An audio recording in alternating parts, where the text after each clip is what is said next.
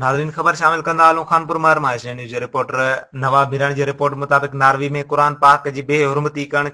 पाक जी उस्तादनि ऐं शागिर्दनि जी मुज़ाहिरो कयो वियो रैली कढी वई ऐं सख़्त नारेबाज़ी कई वई हुन में नारवी जे मुल्क में कुझु शरपस पारां पाक जी सरयाम बेहरमती वारे गुसागी वारे अमल ख़िलाफ़ खानपुर महर जे ख़ानगी स्कूल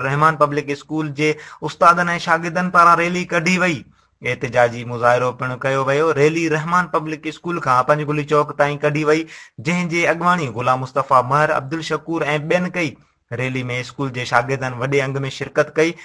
ऐं शागिर्दनि जे हथनि में बैनर प्ले कार्ड खयल हुआ जिन ते तेगी वारे अमल ख़िलाफ़ नारा लिखियल हुआ रैली पंजगुली चौक ते पहुती जिते एतिजाज करायो वियो जिते ॻाल्हाईंदे गुलाम मुस्तफा महर चयो त इस्लाम हिकु पुरमन मज़हब आहे जेको सभिनी मज़हबनि जो एतिराम करे थो पर कुझु शरपसंद इस्लाम ख़िलाफ़ नफ़रतूं पकिड़े रहिया आहिनि हुन वधीक चयो त हुकूमत पाकिस्तान खे घुरिजे त नारवी मुल्क खां एहतिजाज तौरु सिफ़ारती ऐं तिजारती तालुक़ात ख़तमु करे रैली खे ख़िताब कंदे अब्दुल शकूर महर आसिफ़ मुज़फ़र काज़ी ऐं ॿियनि जो चवणु हो त इस्लाम फ़ोबिया में मुबतला मुल्क ॿधी छॾनि त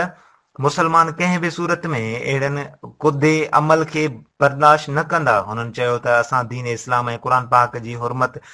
ख़ातिर पंहिंजूं जानियूं बे क़ुर्बान करे छॾींदासीं